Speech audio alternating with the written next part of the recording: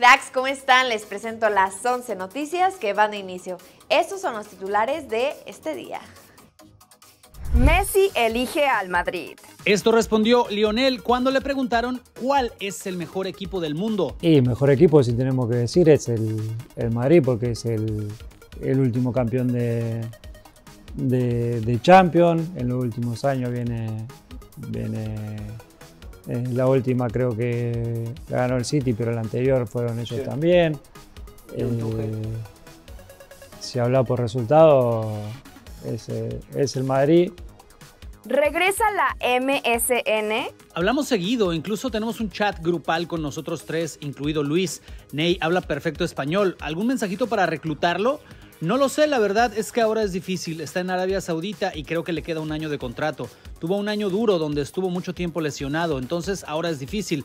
Después de eso, no lo sé, la vida da tantas vueltas que puede pasar cualquier cosa, pero creo que por ahora no dijo Messi sobre la posibilidad de que Neymar juegue en Miami. El sueño del Barcelona. Mundo Deportivo dice que Deco, director deportivo del Barcelona, quiere fichar a Florian Wirtz para la próxima temporada. El directivo espera que la situación económica del Barça mejore para entonces y de esta manera buscarían el fichaje del alemán que está en la mira de varios clubes de Europa. Cubarsí fuera. Finalmente, Pau Cubarsí no estará en la Eurocopa con la selección de España, pero el defensa de 17 años sí estará en los Juegos Olímpicos. El Barça negoció con la Federación Española para que Cubarsí solamente fuera convocado a una de las dos competencias. Mbappé no es un problema.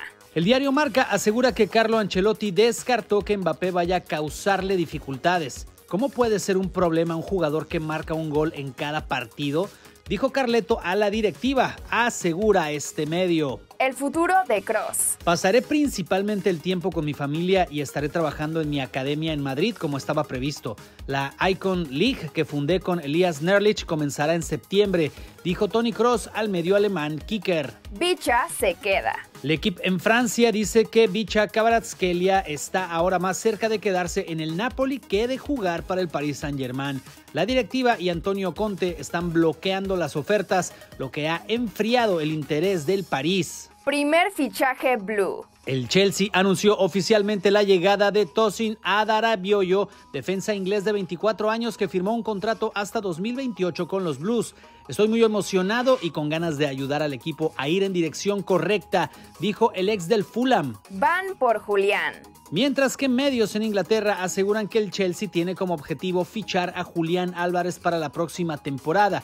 Fichar al argentino costaría más de 50 millones de libras, pero los Blues están dispuestos a invertir en esta contratación. Festejan bajas de Inglaterra. Siempre me gustaría tener jugadores como Marcus Rashford y Jack Grealish en el equipo, jugadores que puedan decidir el juego con un solo movimiento. Que no sean seleccionados son buenas noticias para nosotros, dijo el serbio Nemanja Matic. Serbia será rival de Inglaterra en la Euro. Quieren a Southgate.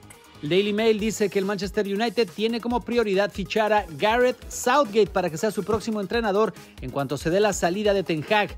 El futuro del seleccionador inglés se definirá después de la Euro. Estas son las noticias que deben conocer en este momento. No olviden suscribirse a Cracks. Yo soy Leslie y nos vemos en el próximo video.